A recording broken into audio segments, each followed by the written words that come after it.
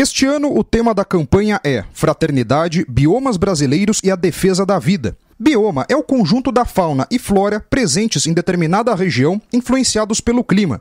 No Paraná, o bioma é a Mata Atlântica, que depois de ter sua área reduzida a 7% do território, hoje cobre 23%, de acordo com dados oficiais. O objetivo da campanha, segundo a Conferência dos Bispos do Brasil, é justamente cuidar da natureza, dos seres vivos, dons de Deus, e promover relações fraternas com a vida e cultura dos povos nativos desses biomas à luz do Evangelho.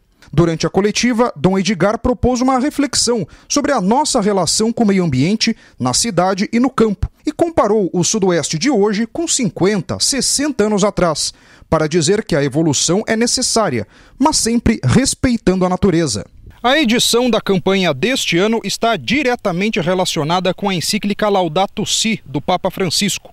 Dom Edgar também utilizou trechos do documento de Aparecida e do Concílio Vaticano II para ressaltar a missão da Igreja de defender a vida.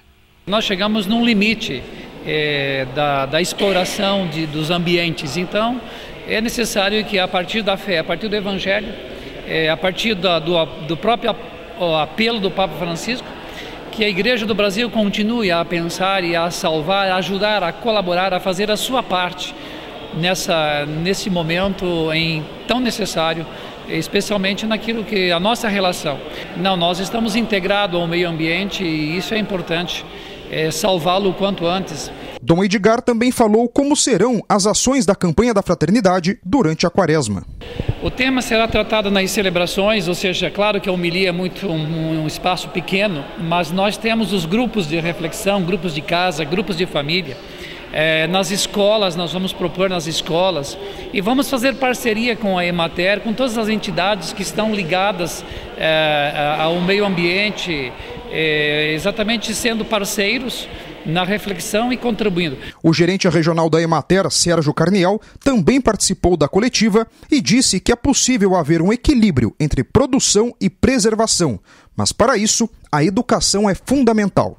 Para mim, o mais importante é a educação. Então, acho que os, os meios, as escolas, as instituições têm que educar as pessoas de forma a, a, visualizar a questão ambiental, porque nós trabalhamos muito com a questão comercial, a, a questão ambiental fica de lado. Nos últimos, na, na, nos últimos anos, a questão ambiental passou a ser um, uma discussão mais importante, mas ela, ela esteve muito longe disso.